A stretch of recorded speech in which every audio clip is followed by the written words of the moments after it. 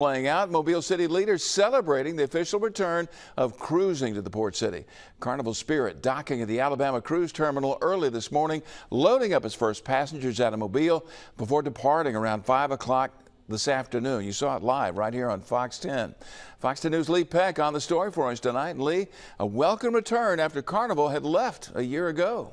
Well, that's right, Byron. I've been following this story for quite some time. I was here when the cruise ship returned in 2016, as well as when the pandemic shut it down. And the ecstasy returning and then exiting Mobile a year ago. Mobile now once again trying to prove itself to Carnival. And judging by today, it looks like we're off to a good start. Arriving early, Carnival Spirit, making herself right at home at the Alabama Cruise Terminal. Larger than life, it's something the port city hasn't seen in a year. Was a true Mobile welcome, the Excelsior Band doing their thing as passengers boarded the ship on her inaugural voyage. Stepping aboard just as exciting. The first passengers all the way from Lafayette, Indiana, Rick and Helen Moschinger got the honor of cutting the ribbon. Actually, it was kind of crazy. We weren't expecting it, but it was a lot of fun.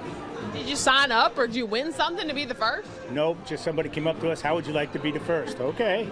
It was almost overwhelming to have everybody there, the captain there, and just everybody and everybody applauding. It's, it makes you pretty emotional. Welcome aboard a beautiful Carnival Spirit, everybody. Fox 10 Shelby Myers taking a tour of the ship earlier today, which boasts more than 630 balcony rooms, a water park, and way more amenities than a ship out of Mobile has ever had. You can't be excited about this. I don't know what, what it's going to take to get you excited.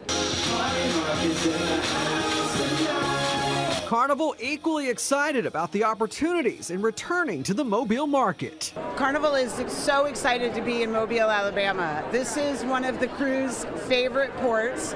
They love to work out of uh, Mobile because the guests are so amazingly awesome. And while we didn't get the secret to how they fold those towel animals, we did get a photo op with this guy. And just like that, the Spirit pulls away for the first of many times, now setting sail for the Bahamas. She'll return to her new home in eight days.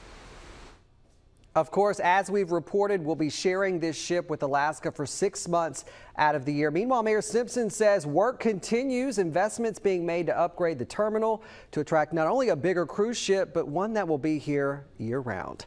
Live in studio tonight, Lee Peck, Fox 10 News.